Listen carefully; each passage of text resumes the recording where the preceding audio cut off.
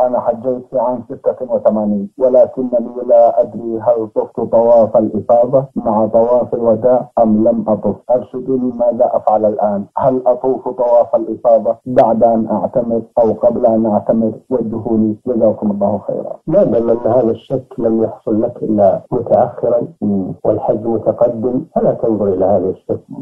لأن الشك إذا جاء بعد الفراغ من العبادة فإنه لا يلتفت إليه. أما إذا جاء الشك في أثناء العبادة فإن الإنسان يبني على اليقين لأن الأصل شغل الذمة ولا تبرأ الذمة إلا بيقين. فالحاصل أنه إذا كان هذا الشك جاء متأخرا والحج متقدم بكل كما ذكرت فهذا لا يؤثر إن شاء الله. وإن رأيت من باب الاحتياط أنك تذهب تطوف الإفاضة وتسعى تذبح شاة عن طواف الوداع الذي طفته قبل وقته توزعها على الفقراء؟ هذا من باب الاحتياط.